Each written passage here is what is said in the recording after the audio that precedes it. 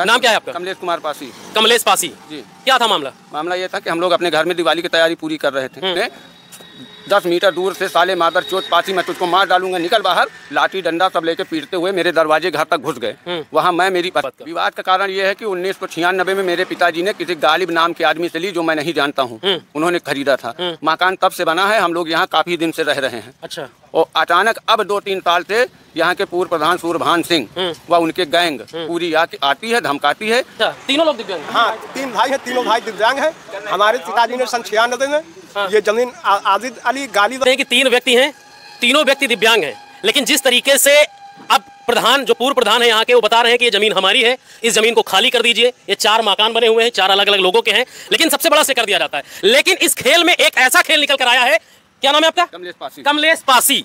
कमलेश पासी जी की ज़मीन है यहाँ पर और इनकी ज़मीन इनको मारा गया पीटा गया लेकिन इनकी तरफ़ से एफआईआर अभी तक नहीं लिखी गई। एक सवाल ये काफ़ी वाजिब सवाल है कि और लोगों की तरफ़ से तो कर दिया गया। इनकी तरफ़ से किया जाएगा तो एस सी का मुकदमा लगेगा झेल जाएँगे।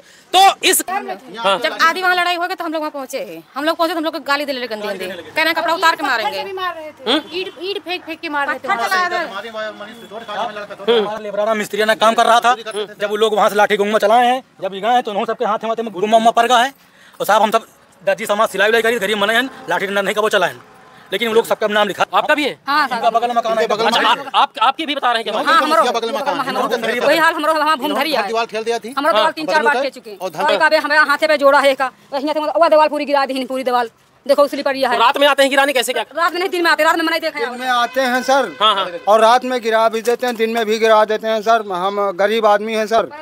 देखो लठ परी है सर। अच्छा आप भी मार खाए? हाँ, सर ये मेरा अंगूठा ये सब फूला पड़ा तो सोच सकते हैं। मारे बड़े। अरे साहब बुढ़ापा का लाठी मारे दौड़े बचत न जाए तो खोपड़ी पर लाठी हमारे पर अच्छा आपको भी मारे? हाँ ये ये घोड़े पर लाठी लाठी पड़ी है मारी भी है। बताओ ना ना लड़कन के लेते आवाज़ हमारे लड़कन का तो बैठक के कहना नहीं ना। कहाँ का हमारा लड़का जाए अब हम तो पिताजी माता जी हमारे बच्चे अब बुढ़ापा का हमारा लाइकन का खाए ये डराने का माहौल डर का माहौल उत्तर प्रदेश के रायबरेली में खौफ पैदा किया गया कि भैया अगर आप गरीब हो मजदूर हो अगर आप पिछड़े समाज या जिस एकदम मुस्लिम तरीके से हो तो आपको जीने का अधिकार नहीं है। लेकिन अधिकारियों से, एसओ साहब से और एसपी साहब से, रायबरेली से, अभी कल उनसे भी हम मुलाकात करेंगे कि आखिर इस मामले में आपने किया क्या? क्या इन गरीबों को अपने घर में रहने का अधिकार नहीं है? कोई भी दबंग आके किस तरीके से कुछ भी कह सकता है क्या? ये एक बड़ा सवाल है और सवाल बहुत ही गंभीर है। क्योंकि जिस तरीके से इस मुद्दे को क्रॉस करके बहुत ही ढीले तरीके से बताने की कोशिश की जा रही है, ये एक बड़ा विषय है। फ़िलहाल इस मामले में जो भी चीज़ें हो हेलो, नमस्कार, मैं मुकेश कुमार और अभी हम मौजूद हैं भदोखर भदोखर का ये क्षेत्र पड़ता है भैदपुर जो कि रायबरेली ज़िले में पड़ता है। दो दिन पहले एक वीडियो सोशल मीडिया पर काफ़ी तेज़ी से वायरल हुआ है, जिसमें देखा गया है कि दो पक्षों के बीच में लाठी डंडों से बहुत भीषण मारपीट होती है। ये वीडियो आपको बता दें कि इसी जगह का है, इसी हाईवे का है, जिसके बाद से ये कहा जा रहा है कि एक पक्षी कार्रवाई या किस तरीके की कार्रवाई चल रही है, इस पर हम घर वालों से भी जानने की कोशिश करेंगे और एक एक क्या मामला था इस विषय में? आखिर क्यों, रंजिश क्या थी? जमीनी विवाद था या क्या, किस लिए ये घटना हुई है? और जिसको लेकर दोनों पक्षों में कहें तो ये कहा जा रहा है, पुलिस के ऊपर भी आरोप लग रहा है, एसओ साहब के ऊपर भी आरोप लग रहा है कि यहाँ पर अलग अलग जातियों के लोग हैं और जिसके बाद इनकी ज़मीन का कोई मामला है, उनसे ही जानेंगे कि आखिर क्या पूरा मामला था। ये कई सारे परिवार है कई लोग चोटिल हुए हैं उस पक्ष में भी चोटिल हुए हैं इस पक्ष में भी चोटिल हुए हैं। सबसे पहले आप बताइए कि मामला क्या था आपका? मामला भैया हमारा कुछ नहीं था। नाम क्या है आपका? कमलेश कुमार पासी। कमलेश पासी। जी। क्या था मामला? मामला ये था कि हम लोग अपने घर में दिवाली की तैयारी पूरी कर रहे थे। हमको किसी से लेना देना नहीं। तीन वर्ष पहले से इसका विवादित मामला चल रहा न्यायालय में। दीवानी में काम न्यायालय में चल रहा मामला। अचानक वो लोग आए पता नहीं किस मूड से थे क्या करने आए कि अचानक उन्होंने दस मीटर दूर से साले मादर चोट पाती मैं तुझको मार डालूँगा। निकल बाहर। लाठी डंडा सब लेके पीटते हुए मेरे दरवाजे घर तक घुस गए। वहाँ मैं मेरी पत्नी। आधार आदमी कोई नहीं था या मेरे मेरा परिवार था। उसके बाद हम अपने बीच बचाव के लिए घर से लाठी डंडा लेके निकले। तब तक दो तीन लट हमारे पड़ गए हाथ हमारे चोटिल है। उसके बाद ये लोग काफ़ी लोग आ गए। फिर दूसरी नहीं तरफ़ एक एक मेरा एक सवाल है कि जैसे ज़मीन है तो ज़मीन का विवाद क्या है? आपने इसे खरीदी था खरीदा था जो प्रधान जी से आपका विवाद चल रहा है ये विवाद किस क्या कारण है विवाद का? विवाद का कारण ये है कि उन्नीस सौ छियानबे में मेरे पिताजी ने किसी गालिब नाम के आदमी से ली जो मैं नहीं जानता हूँ। उन्होंने खरीदा था। मकान तब से बना है हम लोग यहाँ काफ़ी दिन से रह रहे हैं। अच्छा। और अचानक अब दो तीन साल से यहाँ के पूर्व प्रधान सूरभान सिंह व उनके गैंग पूरी आके आती है धमकाती है कहती है जो कि न्यायालय में मामला चलता रहता है मार डालने की धमकी बार बार दी जाती है। जो मैंने ये सब सूचना एसपी साहब न्यायालय में रजिस्ट्री द्वारा सब सूचना डाल दी है। इसके बावजूद भी जो मारपीट की हमने F I R copy application दी थी अप्लीकेशन हमारी हमारी तरफ़ से लिखी नहीं गई। जिसका नाम मैंने डाला था उसका अच्छा नाम मैं ए, ए, एक, एक मैं, मैं बता देता हूँ। सबसे पहले आपको बता दें कि इस पूरे मामले में जिस तरीके से दोनों पक्षों के बीच में लाठी डंडे चलते हैं इधर ये भाई चोटिल है क्या नाम है आपका? हाँ? पंकज सिंह। पंकज सिंह आप भी उन्हीं के समाज से हैं? तो आपकी भी ज़मीन यहीं पे है? मेरी भी ज़मीन है मेरे भी। अच्छा। मेरे पिता ने उन्नीस सौ छियानवे में आबिद गालिब सरफराज अली से इसको जो है इकरारनामा कराया था। हाँ। तब मैं छोटा था हम लोग हमको क्या पता था? मगर ये 2021 में सूर्य सूर्यभान सिंह ने गालिब और सरफराज अली से इसको बैनामा ले लिया है। हम्म, अच्छा इसमें अलग अलग लोगों की जमीनें हैं? हाँ चार क्या क्या है? एक ओह सॉरी एक ठाकुर साहब की ज़मीन है? पासी जी की ज़मीन है एक मौर्य जी की है?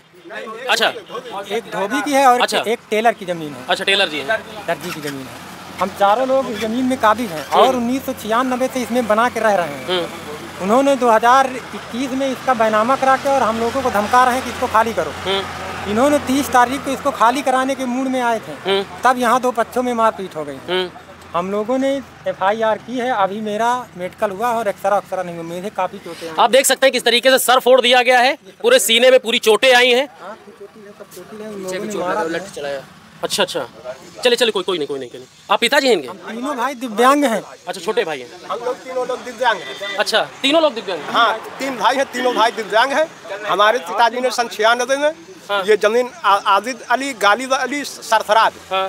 पुत्र सनाद मु- मुसाहिद अली निवासी ग्राम धाजपुर थाना भदोखा राजरेली से स्टाम्प पे इकरारनामा के रूप में खरीदी थी। 2021 में हमारे पिताजी की मृत्यु हो गई। उसके बाद सात सात दिसंबर 2021 को अ, अ, बैनामा करा लिया सूर्यभान सिंह निवासी ग्राम धाजपुर अपनी पत्नी और बेटों के नाम पूरा छः दिशा का प्लाट पूरा बैनामा करा लिया और हमने हमको जब जानकारी हुई तो दीवानी में मुकदमा दायर किया तहसील में दाखिल खारिज का मुकदमा दायर किया। अच्छा। उसके बाद भी ये लोग अचानक हकबरारी का की फर्जी नोटिस दिला के क- हम लोगों को अपना कब्जा साबित करके हम लोगों को निकालना चाहते हैं। तो आप देख सकते हैं कि तीन व्यक्ति हैं तीनों व्यक्ति दिव्यांग हैं। लेकिन जिस तरीके से अब प्रधान जो पूर्व प्रधान है यहाँ के वो बता रहे हैं कि ये ज़मीन हमारी है इस ज़मीन को खाली कर दीजिए। ये चार मकान बने हुए हैं चार अलग अलग लोगों के हैं। लेकिन सबसे बड़ा सवाल ये है कि आखिर ये न्याय व्यवस्था कहा जाए इसको किस तरीके की प्रणाली है? भैया आप आइए जरा। इसमें सबसे बड़ा जो लो, लोचा मुझे लगा है सबसे बड़ा लोचा ये लगा है कि एक पक्ष के द्वारा 10-15 लोगों के खिलाफ एफआईआर दर्ज कराई जाती है। उसके बाद उसको क्रॉस करने के लिए 17 लोगों के खिलाफ मुकदमा दूसरे पक्ष से कर दिया जाता है यानी प्रधान जी के पक्ष से कर दिया जाता है। लेकिन इस खेल में एक ऐसा खेल निकल कर आया है क्या नाम है आपका? कमलेश पासी। कमलेश पासी। कमलेश पासी जी की ज़मीन है यहाँ पर और इनकी ज़मीन इनको मारा गया पीटा गया लेकिन इनकी तरफ़ से एफआईआर अभी तक नहीं लिखी गई। एक सवाल ये काफ़ी वाजिब सवाल है कि और लोगों की तरफ़ से तो कर दिया गया। इनकी तरफ़ से किया जाएगा तो एस सी का मुकदमा लगेगा झेल जाएँगे। तो इस केस को नॉर्मल करने के लिए कहीं ना कहीं भदोकर थाने में एसओ साहब से बात हुई है एसओ साहब से भी बात किया गया। तो उन्होंने कहा कि भैया निष्पक्ष कार्रवाई की जाएगी। तो निष्पक्ष कार्रवाई किस तरीके से की जाएगी? निष्पक्ष कार्रवाई तब होगी जब इस आदमी को इस आदमी को मारा गया जो कि दलित समुदाय से आता है। और इस व्यक्ति की एफआईआर क्यों नहीं लिखेगी क्या कहा गया आपको? कहा गया कि एक बार एफआईआर हो गई है दोबारा नहीं होगी। हाँ। बस कह के मुझे बार बार वहाँ से टाल दिया जाता है। अच्छा। बस। कहा कि जाओ जो हो गया दोनों पक्ष का मुकदमा। नहीं आपने बताया नहीं कि हमको पीटा गया मारा गया। हमारे उनको छोड़िए तीन लोग को छोड़ दीजिए। तीन लोग का क्या करना क्या नहीं? हमारे हमारे ऊपर पीड़ा हमको मारा गया पीटा गया आपके खिलाफ समझाया गया कि बस जैसे एक्सीडेंट हो गई है। हाँ। तो एक बार पाँच पचास आदमी घायल हैं तो हम पचास आदमी को लिख दिए हैं बार बार नहीं लिखेंगे। बार बार कलम कम पड़ जा रही क्या? अब ये तो हमको नहीं पता कलम कम पड़ रही कि नहीं? हमको यही कह के वापस कर दिया जाता है। अच्छा। तो आप देख सकते हैं कि इस पूरे मामले में, इसका पूरा विवरण हम देंगे, पूरा जितने भी डॉक्यूमेंट हमको मिले हैं, उसका एक पूरा अलग वीडियो भी बनाएँगे कि आखिर इस मामले में हुआ क्या है। लेकिन मैंने कहा कि आप सभी को ग्राउंड रिपोर्ट दिखानी चाहिए, क्योंकि अलग अलग फ़ोन आ रहे हैं लोगों के, कि भैया क्या मामला है, क्या हुआ है, क्या नहीं हुआ है, क्योंकि ये कहीं ना कहीं टोल मटोल है। देखिए, जब गाँव का एक दबंग व्यक्ति होता है तो गाँव के आसपास के लोग डरते हैं कि भैया, उनसे ये ना कर दे, वो न कर दे, ऐसा ना हो जाए, वैसा ना हो जाए। लेकिन अगर योगी की सरकार है योगी जी कहते हैं कि ग- द- किसी भी समाज का व्यक्ति हो खुले से जी सकता है खुले से रह सकता है। लेकिन सवाल वाजिब वही है कि हर मामले में एक ही सवाल आता है कि अगर दलित समाज से पिछड़े समाज से कोई भी व्यक्ति अगर मान लो जो ये जातियों की बात नहीं है अगर गरीब व्यक्ति है तो क्या गरीब व्यक्ति को जीने का अधिकार नहीं है? तो ये एक सवाल है जो कि अभी एसओ साहब से भी पूछेंगे चल के।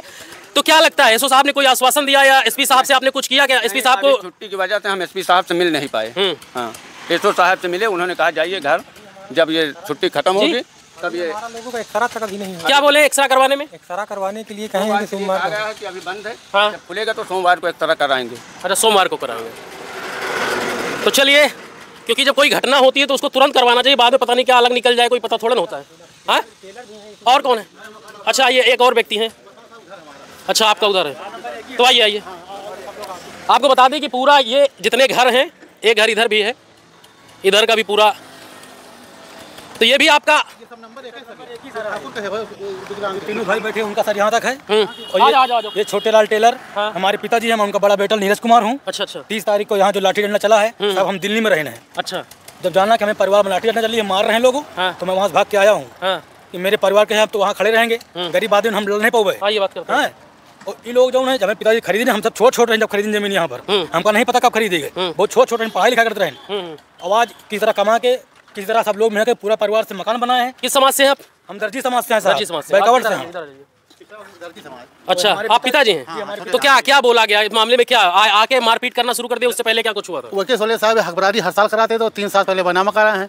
आज तीन साल से। और हम तीस साल पहले गालिब वो मियाँ से इकरारनामा लिखाया था। ये बैनामा करा तो धमकी देवा चाहती है हर साल हकबरारी करावा थी। जो साहब केस चल रहा है दीवानी में। औरतों को कहते हैं हम नंगी करके भैतपुर औरतों को मारे हैं। मेरे मैंने वीडियो बनाया था यहाँ पर। मेरे पत्नी को भी बोले के मारेंगे। मेरे बच्चे पढ़ने जाते थे भगवान मुंशीगंज में यहाँ से। तो बोलते थे कि ये मरवा देंगे सबको मरवा देंगे। हमेशा मारने की धमकी देते हैं। ये सब बहुएँ बैठी हमारे घर की। इनको भी सब गाली देते हैं सर। यही सब अच्छा आप लोग महिलाएँ हैं जब उस दिन लड़ाई दंगा हुआ था तो कहाँ थे आप लोग?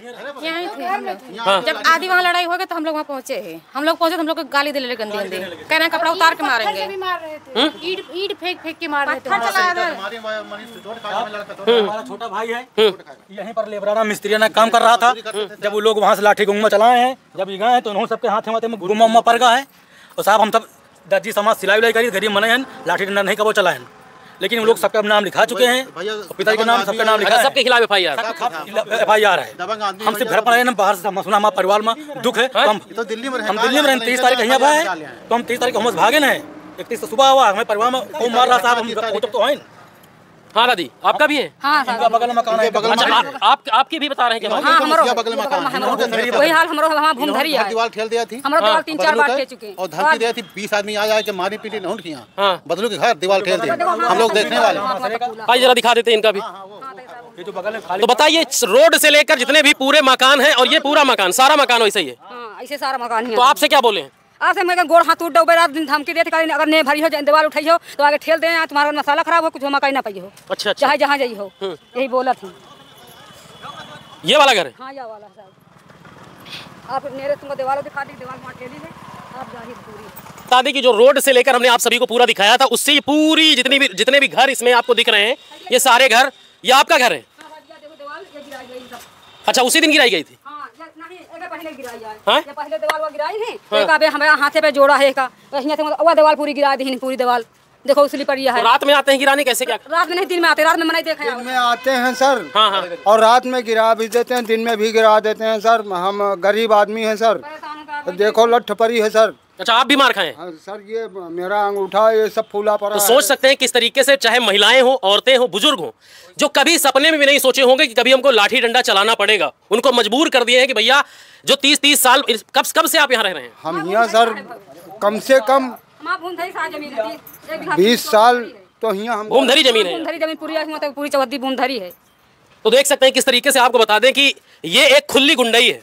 जिस तरीके से कहा जाता है ना कि खुला गुंडई कि जिस तरीके से गब्बर सिंह की नज़र जाती है कि ज़मीन हमारी है वैसे ही गब्बर सिंह वाला नज़रिया यहाँ पर देखने को मिल रहा है कि भैया जो गरीब आदमी है गरीब परिवार से आता है इन लोगों के लिए जीने का ऐसा लगता है कि अधिकार नहीं है इनको। लेकिन ये कई बड़ा सवाल है और मैं चाहूँगा कि इस वीडियो को आप लोग ज़्यादा से ज़्यादा शेयर करें क्योंकि जितने घर हैं ये गरीब परिवार से हैं दलित समुदाय से पिछड़े समुदाय से हैं तमाम सारे अपर क्लास लोग भी हैं लेकिन एक घर अपर क्लास के ठाकुर साहब भी हैं लेकिन वो विकलांग हैं तीनों बेचारे। उनका भी उनका भी बताया जा रहा है कि उनको भी इस तरीके से प्रताड़ित किया जा रहा है क्या लगता है उम्मीद है कि थाने में क्या कहा गया आपसे थाने में कौन सुनवाई नहीं भाई हाँ। हाँ आज का बोला बंद करके बड़े बोला कल हुआ रे पुलिस बंद करके बड़े फिर सब भाग गए भाई बेचो का का डर के मारे अब इनके घर में जिससे जिससे लड़ाई हुई है बेचारे घर से बाहर है की पकड़ के थाने में बंद कर दिया जाएगा तो यहाँ पर बातें हुई है हमारे लोगन की ये सारी बात कर दो एक मिनट। हाँ। जो भी बातें हो रही हैं अभी नहीं लेकिन शाम तक लोग फिर हावी होंगे मारने के लिए हम लोगों को। इससे पहले भी दस सात न्यूज़ बुलवाया गया था उसके बाद शाम को लोग मारने के लिए धमकी दिए थे मारने भी आए थे यहाँ हमारे परिवार को। ये सब आप रिकॉर्ड करिए इसमें। अभी आ गया कि जो है हम लोग घर पर हैं और बाज़ार हट जाए तो मार पीट थी सबका और आप तक धमकी दे हैं साहब तक। हम गए उनका फिर आज राम को धमकी दे हैं शाम का और तब मार पीट सबका। अच्छा रास्ते में घेरते हैं? हाँ घेरते हैं। कोई भी बच्चा हमारे कहीं जाते हैं तो उनकी गाड़ी लगी रहती है कहीं किसी को जान से मान न दे हमको डर लगा रहता है यहाँ पर। लगा रहे हैं, गाड़ी देते हैं गाड़ी से। और सोची जाए सब्ज़ी लाओ तो गाड़ी दे गाड़ी देती है और दबंग लोग वहीं शाम तक फिर घर लिया घेरे आया तो आप सभी को बता दें एसओ साहब भदोखर थाना जी और एसपी साहब रायबरेली। अगर आप वीडियो को देख रहे हैं मैं अभी टैग करने वाला हूँ सबको। ये गरीब परिवार है जो बेचारे डरे हुए हैं सहमे हुए हैं। आपसे एक उम्मीद है न्याय की उम्मीद है कि आप लोग सत्ता में प्रशासन में है। इन गरीब परिवारों की मदद करें, क्योंकि ये बेचारे इनके खिलाफ एफआईआर दर्ज हो चुकी है। घर से इनको बेघर करने की धमकी दी जा रही है, मारा जा रहा है, पीटा जा रहा है। लेकिन एक बड़ा सवाल है कि योगी सरकार में जिस तरीके से कहा जाता है कि प्रशासन का राज है, लेकिन ये प्रशासन का राज किस तरीके से दिख रहा है? इसका एक एक निचोड़ आपको दिखाएँगे। लेकिन ये गरीब परिवार बाज़ार जाता है, घर जाता है, अभी बता रहे हैं कि पुलिस वाले आते हैं तब तक ठीक रहता है चले जाते हैं मारने के लिए फिर रेडी हो जाते हैं। हाँ धमकी देते हैं, गंगे आ जाते भाई। पीछे गाड़ी लगा रहे हैं कल हम से गए कल गाड़ी पीछे लगी रही है और हम कल हो गाड़ी पीछे लगा रहे हैं साहब। मारे बरे। अरे साहब हम बुढ़ापा का लाठी मारे दौड़े हैं। पसंद न जाए तो खोपड़ी पर लाठी हमारे पड़ता है। अच्छा आपको भी मारे? हाँ ये ये घोड़े पर लाठी लाठी पड़ी है मारी भी है। अब बताओ ना ना लड़कन के लेते ते में मारी इंजरिन आवाज़ हमारे लड़कन के तो बैठे के कहना नहीं ना। कहाँ का हमारा लड़का जाए? अब हम तो पिताजी माता जी हमारे बच्चे अब हम बुढ़ापा का माला है का खाए क्या करते हैं योगी जी से और जो भी बलात्कारी सुन रहा है हमारे वीडियो को कि हम गरीबों को न्याय दिलाया जाए। तब हम सरकार की जय जयकार करेंगे सबकी जय जयकार करेंगे। हमको न्याय चाहिए और कुछ नहीं चाहिए। उनको जो करना है वो करे लेकिन हम सभी को न्याय चाहिए क्योंकि हमारे पिताजी ने पैंतीस साल पहले खरीदा था। उसके लिए हमें न्याय चाहिए। हमारे परिवार को जो प्रोडक्शन दिया गया है उस उस पर लिया जाए। तो हमारे सबके पास कोई खेती नहीं है। बाहर कमाते वही खाते हैं हम लोग। तो हमको तो परेशान करते मेरिया मेरिया का। बताओ बेचारे इतने परेशान है कि लासन ज़मीन नहीं है इनके। बताओ यह हाल है। कमा जाए लड़के तो का बच्चे कहाँ खाए होता है बाहर जाइए तो बच्चन का रोके पर चार दिन से मजदूरी की टगरा कर रहे हैं यहाँ। क्या करें? अब बाहर भेज दिए तो हमका सबका मार डाव है औरतन का परिवार का। तो आप सभी से जितने भी लोग वीडियो को देख रहे हैं उन सभी से यही रिक्वेस्ट है कि वीडियो को ज़्यादा से ज़्यादा शेयर करें क्योंकि आपको बता दें कि मामला काफ़ी गंभीर है। और जिस तरीके से चीज़ें चल रही हैं यहाँ पर ये तमाम सारे गरीब परिवार जिस तरीके से प्रताड़ित किया गया और जिस तरीके से एक ये डराने का माहौल डर का माहौल उत्तर प्रदेश के रायबरेली में खौफ पैदा किया गया कि भैया अगर आप गरीब हो मजदूर हो अगर आप पिछड़े समाज या जिस एकदम मुजलिम तरीके से हो तो आपको जीने का अधिकार नहीं है। लेकिन अधिकारियों से, एसओ साहब से और एसपी साहब से, रायबरेली से, अभी कल उनसे भी हम मुलाकात करेंगे कि आखिर इस मामले में आपने किया क्या? क्या इन गरीबों को अपने घर में रहने का अधिकार नहीं है? कोई भी दबंग आके किस तरीके से कुछ भी कह सकता है क्या? ये एक बड़ा सवाल है और सवाल बहुत ही गंभीर है। क्योंकि जिस तरीके से इस मुद्दे को क्रॉस करके बहुत ही ढीले तरीके से बताने की कोशिश की जा रही है, ये एक बड़ा विषय है। फ़िलहाल इस मामले में जो भी चीज़ें होंगी, हम आपको एक एक अपडेट देंगे, लेकिन इस गरीब परिवार के साथ खड़ा होने वाला आज के समय में कौन है? ये एक ही परिवार नहीं है। इस तरीके के हमने आपको बताया कि तमाम सारे घर परिवार हैं। उधर से लेके ये पूरे रोड की जमीनें, जिस तरीके से आज कब्जा करने की बात की जा रही है, जिस तरीके से दबंगई के, उससे ये गरीब परिवार कहाँ जाएँगे? चलिए, फ़िलहाल मैं हूँ Mukesh Kumar, bureau report news वाला